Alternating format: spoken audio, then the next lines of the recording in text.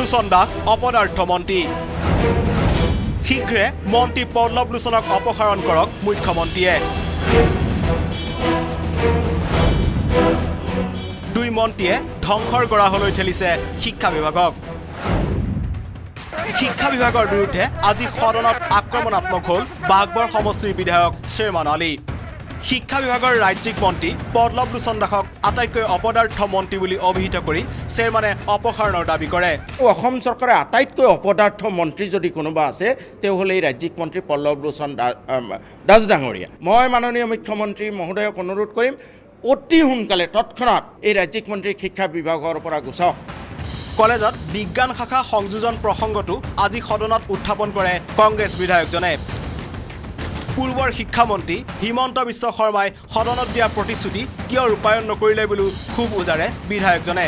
ইয়াৰ উত্তৰত ৰাজ্যিক মন্ত্ৰী পল্লৱ লোচন দাসে ক'লে আলী ডাঙৰীয়াই কোৱাৰ ধৰণে এই গোটেই শিক্ষা ব্যৱস্থাটো এই জট কোনে লগালে ছাৰ এই শিক্ষা বিভাগৰ যে আজি এই অৱস্থা আজি যে শিক্ষা বিভাগৰ যে আজি এই ধৰণৰ অনিয়ম সেইবিলাক কোনে কৰিছিলে? কাৰ দিনত এইখিনি হৈছিলে? পোন্ধৰ বছৰ চৰকাৰ আপোনালোকে চলালে। আপোনালোকে এইখিনি কৰি থৈ গ'ল। আপোনালোকে কিয় নিয়ম কৰিব নোৱাৰিলে তেতিয়া? আজি যে আপোনালোকে কয় আমি দুবছৰ চলাইছো। আপোনালোকে কি কৰিছিলে তেতিয়া? আপোনালোকেতো একো কৰিব নোৱাৰিলে। মন্ত্ৰী পল্লৱ লোচনৰ উত্তৰত সন্তুষ্ট নহ'ল শ্বেৰমান আলী।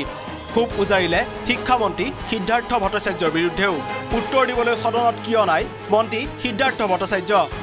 প্ৰথম অধিৱেশন এই শিক্ষা শিক্ষা বিভাগৰ এই পয়া লগা ছিটুৱেশ্যনত তেওঁ প্ৰথম অধিৱেশনতে তেওঁ অনুপস্থিত। আনকি যোৱা ছমাহত তেওঁৰ মন্ত্ৰিত্বভাৰ লোৱাৰ পিছত কোনো পৰিৱৰ্তন আমি দেখা নাই। পূৰ্বৰ শিক্ষামন্ত্ৰী হিমন্ত বিশ্ব শৰ্মাক প্ৰত্যক্ষ কৰি ৰকিবুল হুছেইনৰ মন্তব্য। আমি মানি লৈছো তেখেতে যিটো কৈছে যে ইয়াৰ আগত তাৰ আগৰ চৰকাৰে কৰিছে হয় আমাৰ চৰকাৰৰ আগৰ শিক্ষামন্ত্ৰীগৰাকীয়ে কিছু খেলি মেলি লগাইছে। বিভাগৰ প্ৰশ্নৰ উত্তৰ দিবলৈ শিক্ষামন্ত্ৰী উপস্থিত নথকাত ক্ষোভ প্ৰকাশ কৰে আন এজন বিধায়ক আমিনুল ইছলামে।